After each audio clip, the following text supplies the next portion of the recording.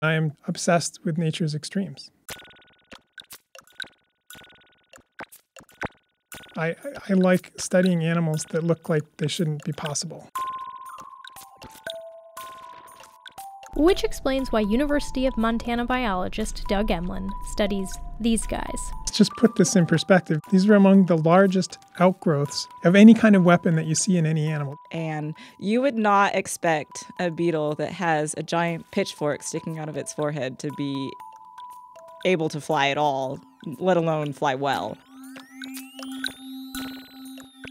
That's Emlen's PhD student Erin McCullough, who studies these rhinoceros beetles in the field. You can definitely hear them sort of roaring as they come to the tree.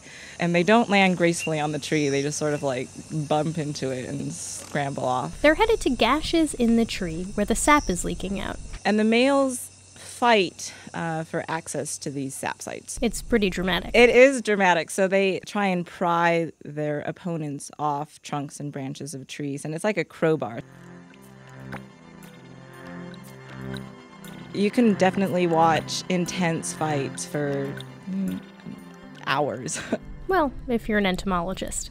Anyway, it's not surprising these fights are so intense because there's more than sap at stake. So the females come and feed at these sap sites, um, and the males um, fight over access to these sap sites because the males that gain access to the sap sites get to mate with the females. In other words, size matters. The males with the longest horns have the highest reproductive success. That makes the horn something called a sexually selected trait. A la male ornaments, male weapons, the tusks of elephants, or the long tails of birds. There's this idea that sexually selected traits, they'll keep getting bigger and bigger until there are some fitness or survival costs that ultimately limit how big they can get. It's interesting in the beetles that I haven't found any evidence that there are important fitness costs. The horns don't appear to be costly in terms of how well the beetles fly. The horns don't appear to stunt the growth of other structures. So, if costs aren't limiting size, what is? I think is going on in this species is that the horns reach some sort of mechanical limit.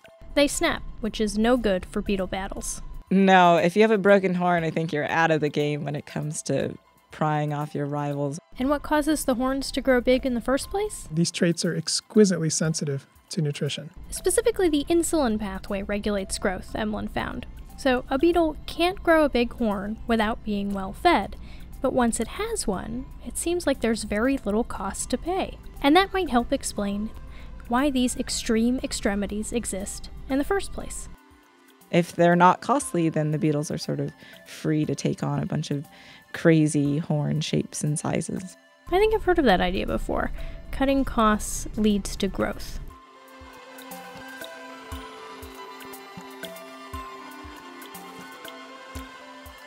For Science Friday, I'm Flora Lichtman.